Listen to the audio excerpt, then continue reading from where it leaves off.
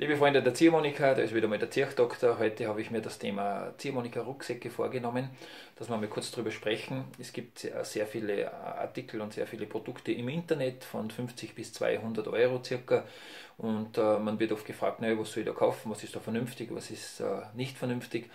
Äh, dazu müssen wir uns mal die Frage stellen, warum überhaupt ein Ziehharmonika-Rucksack? Naja, ähm, weil er natürlich dazu da ist, das Instrument viel angenehmer zu transportieren als wie ein Ziehharmonika-Koffer, der ja sich wirklich nach einigen hundert Metern sehr anhängt, wenn man mal vom Parkplatz in der Wirtschaft oder in einer Musikschule äh, besser noch äh, geht. Und für Kinder ist es besonders äh, mühsam, so einen Koffer da um zu zahlen, wie man bei uns sagt, und ist vielleicht doch sehr praktisch, einen Ziehharmonika-Rucksack sich zuzulegen, zumindest als Alternative auch neben dem Koffer. Ich habe mir heute einmal vier Produkte vorgenommen, ähm, und möchte euch die ganz kurz erklären. Äh, beginnen wir mit dem 50 Euro Teil. Das ist mehr oder weniger eigentlich eher so eine Haut als wie, als wie Rucksack. Äh, sehr schlecht gefüttert. Ähm, der, die, die Reißverschlüsse auch nicht besonders äh, grob verzahnt, so dass sie eigentlich eher wahrscheinlich dann einmal den Geist aufgeben werden. Ähm, das sind nicht wirklich Riemen äh, gepolstert, das ist einfach nur ja, da angenäht halt. Ich würde dieses Teil maximal als Staubschutz hernehmen, wenn man sagt, man möchte das Instrument nicht in einen Koffer, sondern irgendwo äh, im Raum deponieren, kann man das gerne machen. Oder vielleicht seine Skischuhe äh, über den Sommer da drin verstauben, äh, verstauen, damit sie nicht verstauben.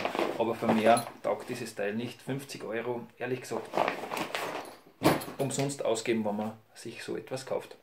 Äh, das nächste Teil, sage ich gleich, kostet schon 100 Euro, äh, ist auch sehr viel besser gemacht, ums Doppelte besser gemacht, muss man sagen. Äh, dieses Teil gibt es in ähnlichen Versionen von, italienischer, von zwei italienischen Firmen. Das ist zum Beispiel das äh, Teil von einer tschechischen Firma, gar nicht so schlecht gemacht, haben wir schon eine Fütterung von 15 mm Schaumstoff.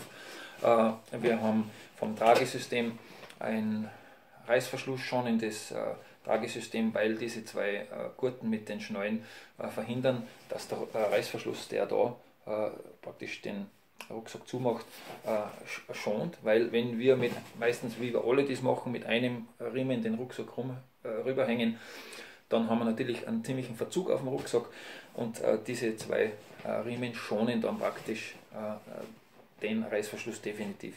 So, warum ist er, fällt er mir noch gut eigentlich? Weil er äh, vorn die Klappe, weil diese Dinge, Dinge sind meistens so zu öffnen, dass sie praktisch von vorn komplett zu öffnen sind und äh, man dann die Ziehharmonika reinstellen kann.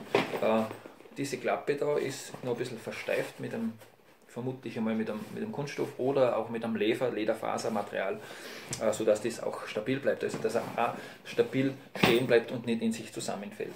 Äh, es ist ein kleines Taschel vorne, wo man mindestens eine DIN A5-Mappe reinbringt oder irgendwelchen anderen Utensiliennkram.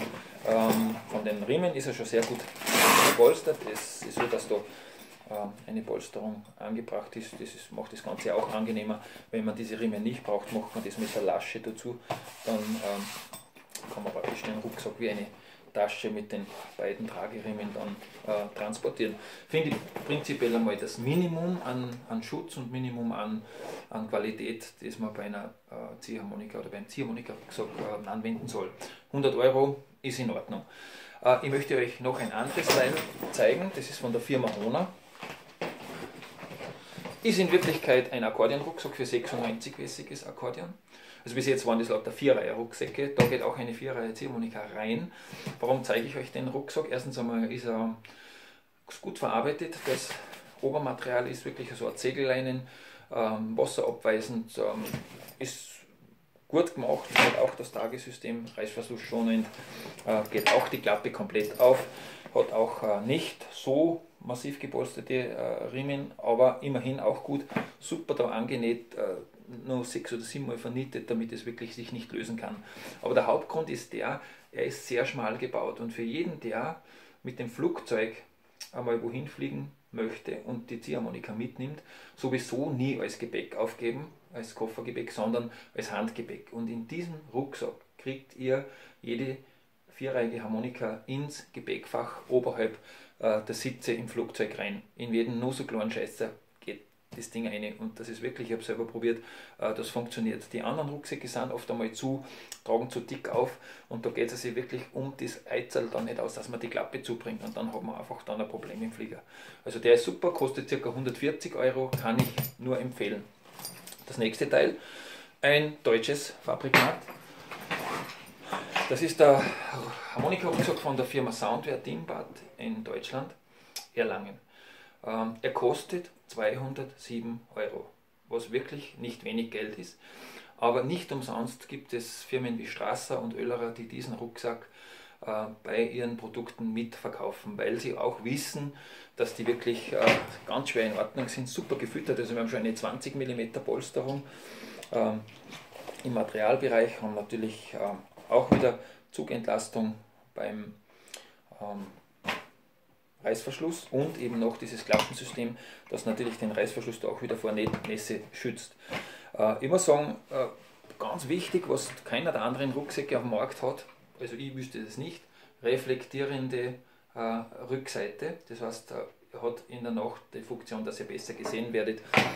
Und naja, ist für die Sicherheit schon sehr gut. Die zwei Taschen, genau wollte ich nur sagen, die zwei Taschen sind so groß, dass man auch eine DIN A4-Mappe reinbringt und außer und äh, auf der hinteren Tasche ist dann nochmal Platz für andere Dinge. Also mit diesem Rucksack könntet ihr zum Beispiel in einem Flieger habt keine Chance, dass das ins Gepäckfach reinkriegt. Die Riemen sind massivst gepolstert, tragen sich wirklich gut. Mit denen könnt ihr auf allem aufgehen und ihr werdet jetzt kein Problem haben mit dem Rücken, weil der wirklich gut gemacht ist. Ja, er kostet 207 Euro, aber er ist einfach der Beste, man muss das so sagen. Und ähm, ich glaube, wer 3, 4, 5, 6.000 Euro oder mehr äh, für ein Instrument ausgibt, sollte wirklich sie einen guten Rucksack kaufen. Äh, sie halten wirklich lange. Ich bin jetzt auch schon seit 15 Jahren selbstständig. Ich habe noch nie einen Rucksack zurückgekriegt, wo irgendwas kaputt gewesen war. Ich kann es euch nur empfehlen. Ich weiß, das ist jetzt ein bisschen geschäftlich, was ich sage, aber es ist einfach, es zahlt sich aus. Und selbst wenn ihr Ziehharmonikas habt und dann später mal verkauft, den Rucksack, den haltet man einfach und verkauft die Ziehharmonika mit dem Koffer. Aber das ist wirklich ein super Teil. Es lohnt sich und ähm, es hat, macht einfach Spaß, den Harmonika-Rucksack auch zu tragen. Soweit ein paar Informationen. Ich weiß, ist natürlich zum Teil auch alles subjektiv und geschäftlich natürlich kann man das in jede Richtung auslegen, wie man will. Ich bin der Meinung, dass das nicht so schlecht ist, äh, wenn man sich ein gutes Teil kauft. Ich wünsche euch noch einen schönen Tag und einen äh, schönen Frühling und eine schöne Maienzeit und spürt viel. Viert euch!